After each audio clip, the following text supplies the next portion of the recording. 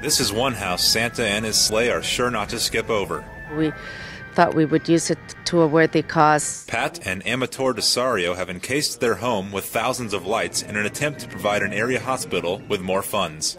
It's our way of thanking them for our for everything we went through. The family recognizes the hospital for their contribution in ensuring their daughter's health. The couple's daughter was diagnosed with type 1 diabetes when she was 8 years old. The Desarios ask onlookers to make a donation to the Sick Kids Hospital whenever they stop by. Thank you. Merry Christmas to you. My daughter at the age of 8 was diagnosed with type 1 diabetes. She's an adult now and uh, they took good care of her at the hospital for 10 years of her life. The light display started 11 years ago and ever since then, they've worked it up to being what it is today. Bright.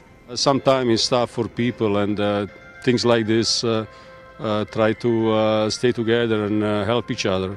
The festive family leaves the donation box in front of their home, allowing passerbys to donate any amount.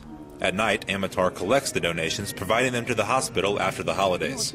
Although the workload is immense and it takes a great deal of time, the family insists they'll carry on as long as they can. It makes it uh, worthwhile uh, to keep on keep on going, I guess, uh, until until we can.